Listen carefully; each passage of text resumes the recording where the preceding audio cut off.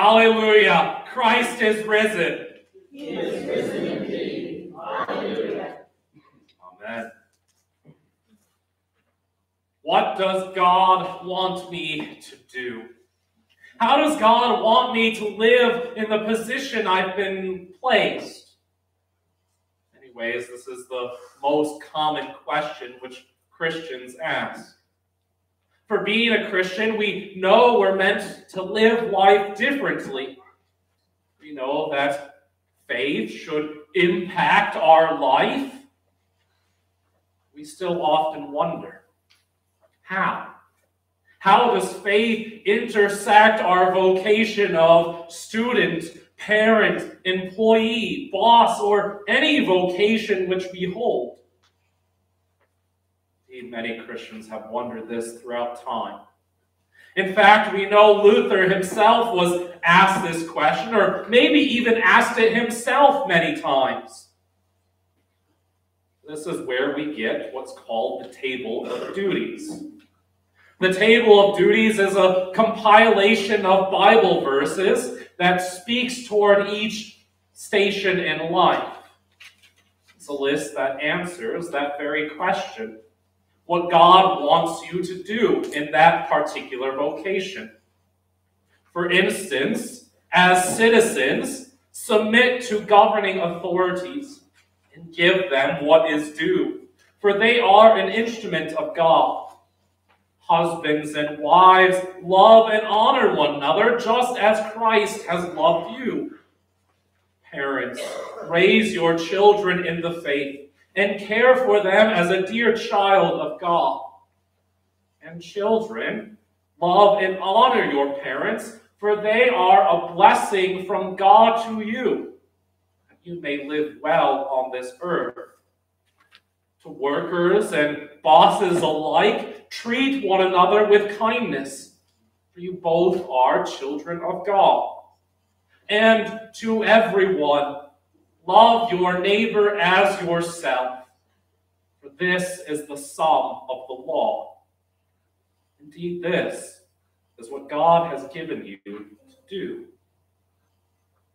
So, as a Christian, we follow what God tells us, what God gives us to do.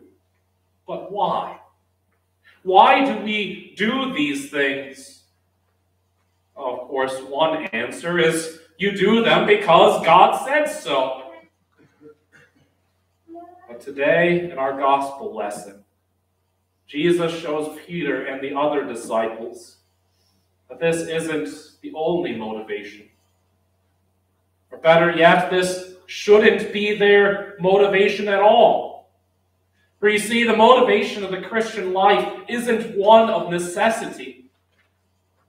This is why Christ asked Peter, and now ask you, Do you love me? Disciples have already seen Jesus twice since he was raised from the dead. But now it's been a while for them since they've seen him. Do they still love Jesus? Well, of course they do. They no longer knew what they're supposed to do anymore. They still have their own responsibilities, as many of them have their own families. They needed to eat in order to live. They needed to work in order to eat. Did they want to work? Probably not. But eventually, the disciples knew they couldn't wait around any longer for Jesus to tell them their next task. For so, this is what John records for us in his gospel. Simon Peter said to the other disciples, I am going fishing. And they said back to him, We will go with you. They went out and got into the boat, but that night they caught nothing can only imagine after being with Jesus for three years. Being back on the sea was probably the last thing they expected they'd be doing at this point. Indeed, they probably thought they'd be going throughout the world performing miracles right alongside Jesus. just as they had the last three years. Jesus wasn't there anymore to tell them what to do or how to do it. He'd show up on occasion and disappear again. Now that it had been a while, they went fishing. Not out of desire, but out of pure necessity. And you see, motivated by the necessity of the task, they did only what was absolutely necessary. For the disciples toiled all night long, but they caught nothing. Not even a single fish. All that effort they exerted and absolutely no reward. Only imagine the disciples are sitting on that boat wondering, Jesus, what do you want me to do? What's next? Of course, maybe you too have had that mountaintop experience. Much like the disciples had when they saw Jesus raised from the dead that first Easter morn. But that feeling doesn't last for us. Do you still love Jesus? Well, of course we do. But we also still wonder what's next? What do I do now? For eventually we know we need to return to life as usual. Life, there's no shortage of responsibilities for us. And it's no secret that we don't like doing most of them. You get up and go to work every day, even though you'd rather be home because you need money to survive You go to school, even though you're dying for summer vacation, because you're required to be there. You clean the dishes, make the bed, cook dinner, do laundry, and many other things because it's necessary that they get done. You see, for many things, we are motivated by nothing other than necessity. You're motivated by the law. But this is the reality of most things that we do. It says, do them or face the consequences. So you convince yourself to muster up just enough effort to get another task done, even when you don't want to. After all, it's just another repetitive task you can cross off the list for another day. When this is your motivation, it's draining. It always catches up to us. So it leaves us sitting there wondering, God, what do you really want me to do? But when did we become so good at disconnecting faith from the rest of life? For you see, being a Christian impacts everything, not just what we do, but even our very motivation for doing it. You see, your faith is your motivation for everything you do. As Christians, we're not motivated by the law, but rather by the gospel. You're motivated not by necessity, by Jesus' death and resurrection for you. For in Jesus, God has shown you just how much He loves you. He would send even His one and only Son to die on the cross for you. So He calls you to live that reality. You see, because of what God has done for you, He now enables you to love Him.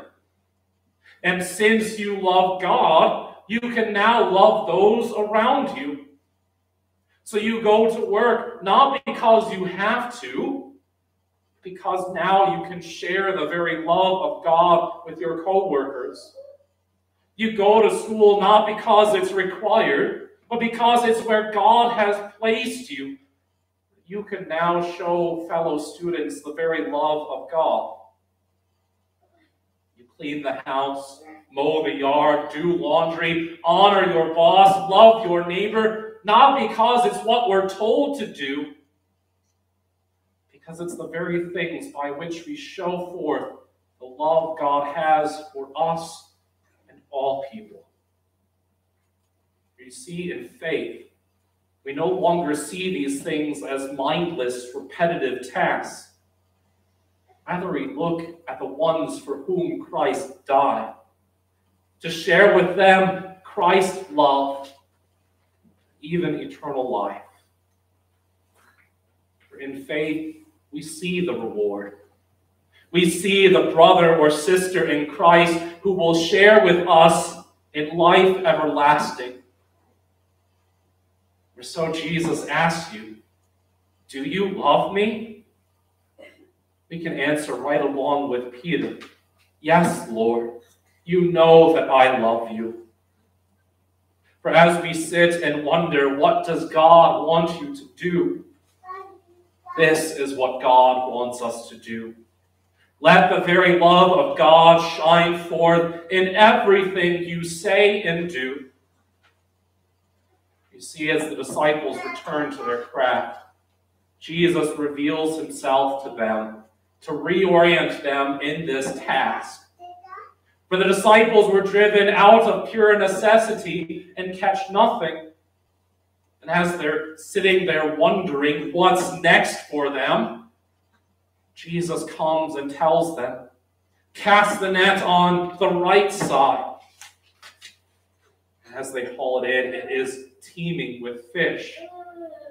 And you see, by this simple miracle, one of the disciples realizes it's none other than Jesus standing there on the shore. For so he turns and tells Peter, It is the Lord.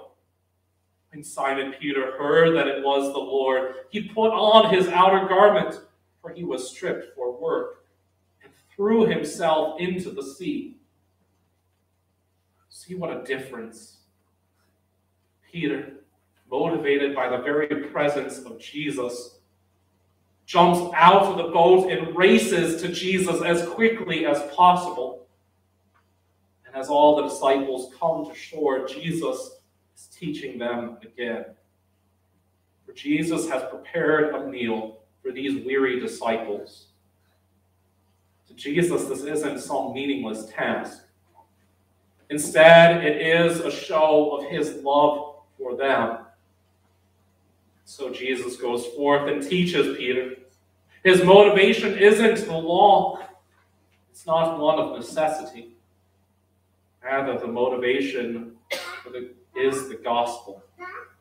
Peter's motivation is his very love for the Lord because of just how much Jesus has done for him. For so Jesus asked Peter three times Simon, son of John, do you love me? To which Peter replies, Yes, Lord, you know that I love you. And then Jesus says, Feed my sheep. Jesus shows how Peter's love for him will be the basis of everything he does. How he will feed the flock of God with Jesus' own words for nothing to Peter will be this meaningless task. Rather, because of Peter's faith, his love for Jesus, he will care for all those God places around him. So, just as Jesus tells Peter, he also tells you, follow me. And motivated by that very love of Jesus, let us show forth God's love to all. So look at your station in life and wonder what does God want us to do? See first God's own love for you. For this is foundational to all of life. This is what the table of duties also shows. What are we to do? Fulfill your station as a parent, a child, student, employee, and let everything we say and do show forth God's love to all people, all those He's placed around you. In Jesus' name, Amen. Now may the peace of God surpasses all understanding. Guard and keep your hearts and minds in Christ Jesus.